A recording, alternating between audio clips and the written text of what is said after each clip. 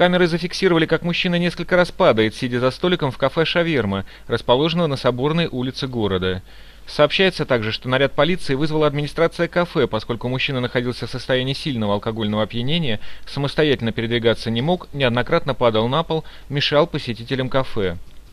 Камеры зафиксировали, как трое полицейских заходят в кафе, берут мужчину под руки и выводят из заведения. В полиции к задержанному вызвали скорую помощь, но прибывший врач не нашел оснований для госпитализации.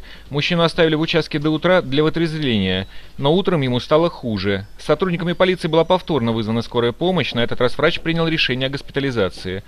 Позже в дежурную часть больницы поступила телефонограмма с диагнозом по данному гражданину. Закрытая черепно-мозговая травма, внутричерепная гематома, кома, состояние алкогольного опьянения. Расследование обстоятельств инцидента продолжается.